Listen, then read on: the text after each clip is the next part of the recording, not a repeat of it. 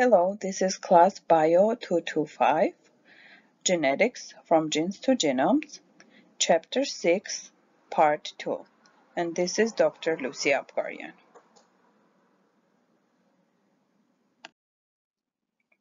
So here we are going to talk about base sequence, how DNA is carrying the information, and also the DNA, about DNA replication, how uh, the information is transmitted from generation to generation.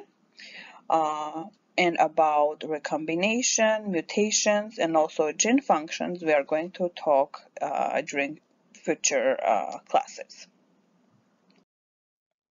During non-replicating situation, DNA is usually is highly coiled. However, in order for enzymes or protein to be able to read the DNA sequence, it needs to be unwounded. And therefore, uh, during the transcription uh, and uh, replication process, uh, uncoiling of DNA is taking place. However, some genetic information can be accessible within double-stranded DNA.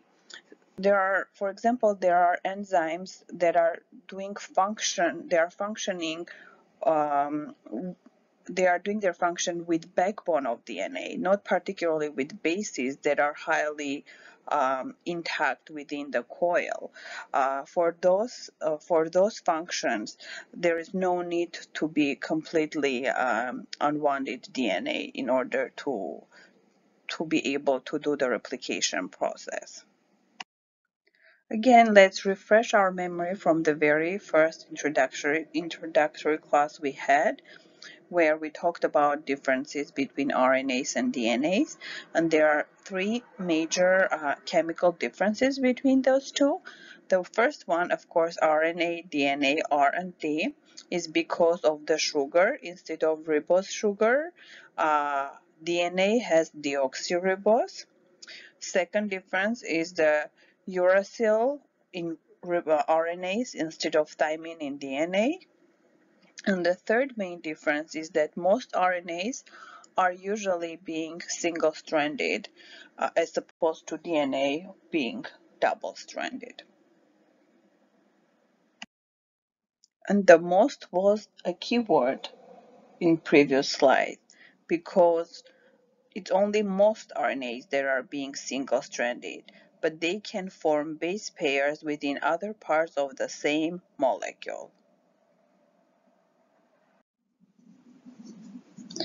In order for DNA to be replicated, first of all, unwinding of the double helix should take place, and that exposes bases on each strand.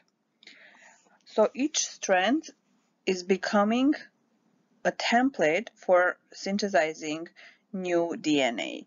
So we are going to have uh, complementary bases uh, inserting on both sides for each for each of the strands. So single double helix becomes two identical daughter uh, double helixes. Initially, there were three possible models for DNA replication. One was semi-conservative, another was conservative, and the third one was dispersive.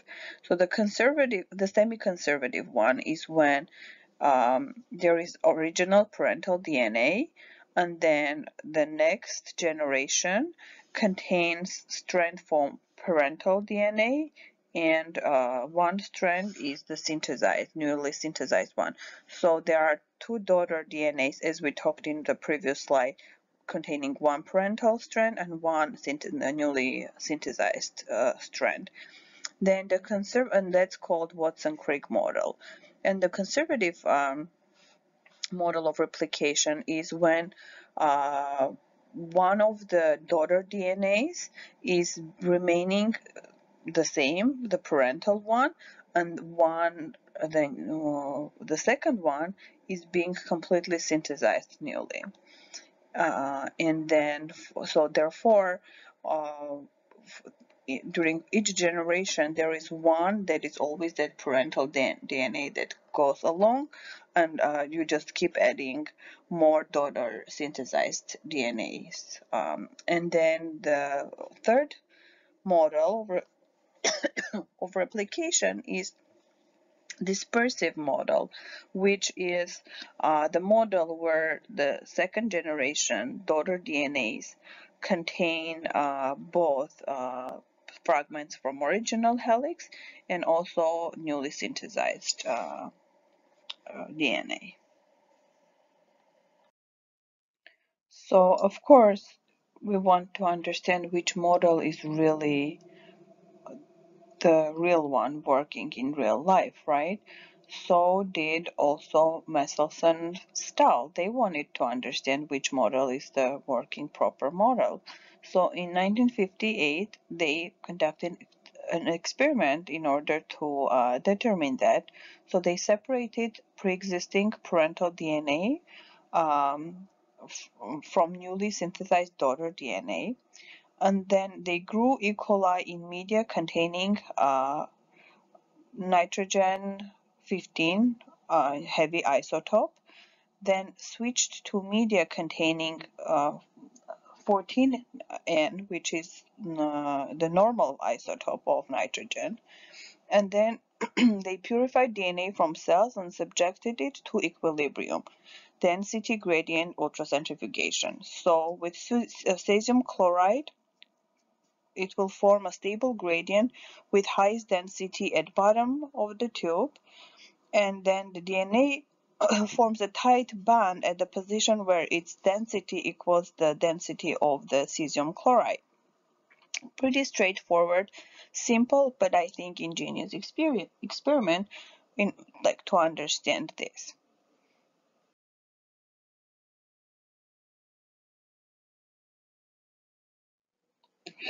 So Kornberg and others worked out the biochemical aspects of replication in E. coli.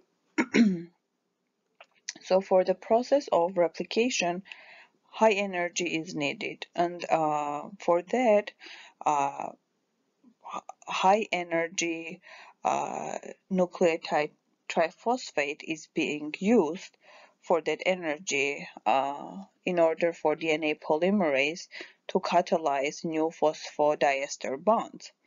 Uh, there are two-step uh, process that uh, that is uh, taking place.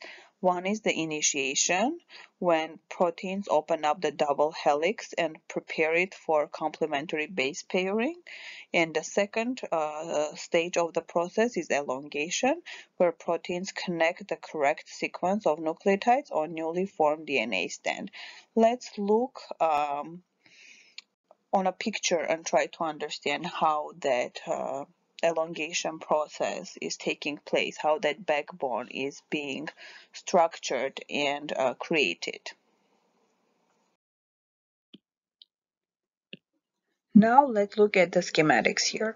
So we talked about nucleic triphosphates, right? DNTPs, which are uh, double nuclear triphosphates. Um, so here that is that with three phosphates here and DNA uh, polymerase is for uh, catalyzing uh, the process is going to use the energy from um, NTPs and during that process the two phosphates are going to leave and one phosphate is going to remain here and is going to um, help to create the backbone on this direction using the O here from it will use the C um, at the position 3 from the first um, member of the backbone.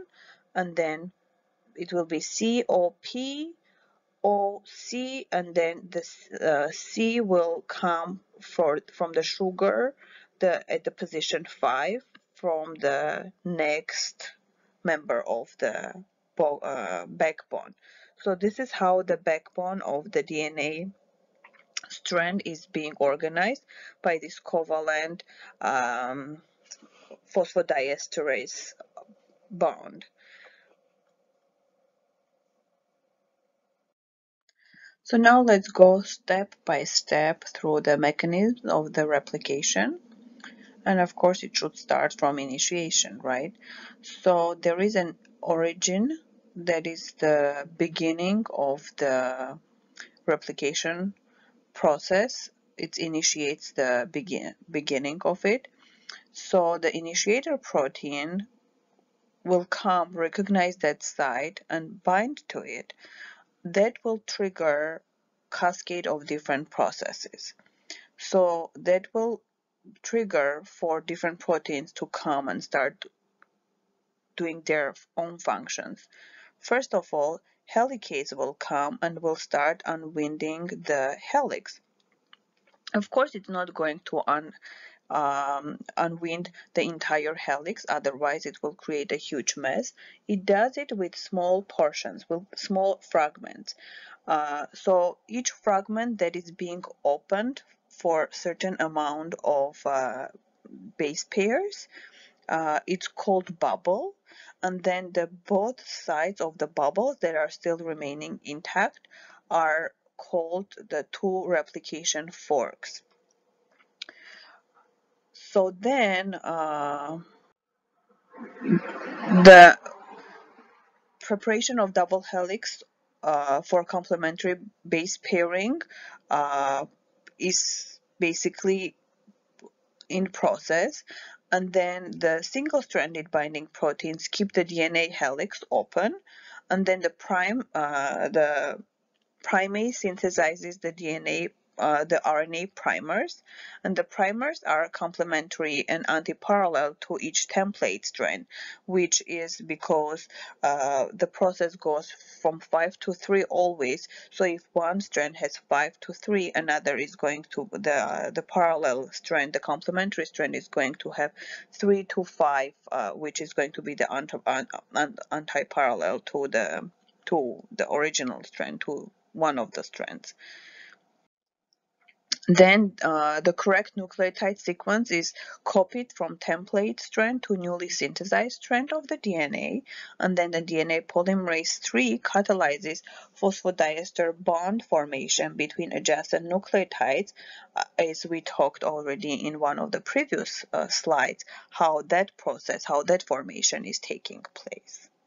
And that is the process of elongation.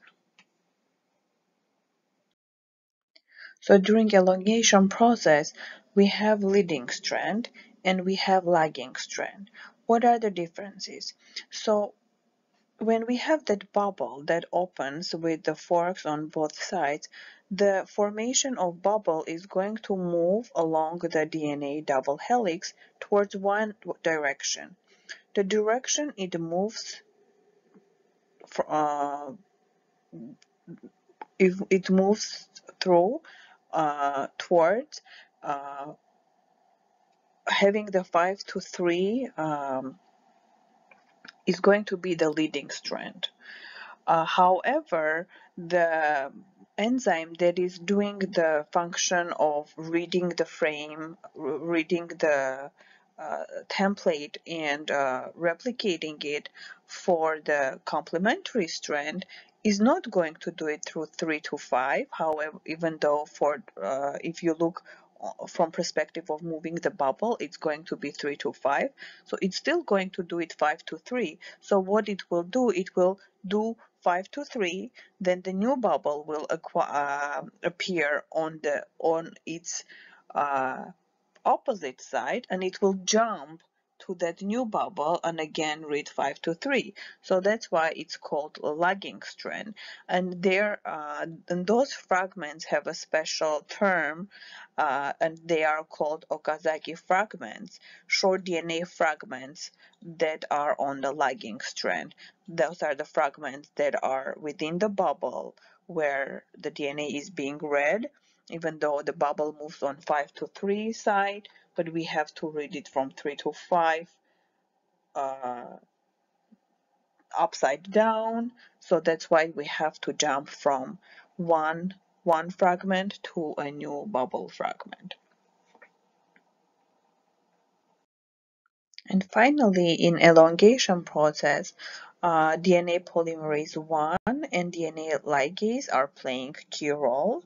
So DNA polymerase 1 will come to replace the RNA primers with DNA sequences and we already know what are the differences between RNA and DNA and then the DNA ligase is coming to uh, join success uh, the successive Okazaki fragments with one another and that uh, that bond that join is uh, that joint is uh, covalent. So now let's see, let's look and see how different the replication process for the circular bacterial DNA um, will be from uh, from non-circular DNA.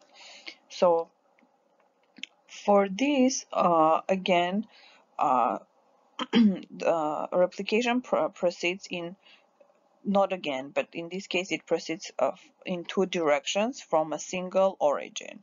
When uh, in the previous case, in non-circular case, it, it was again uh, initiating from the single origin, but it had one direction to go.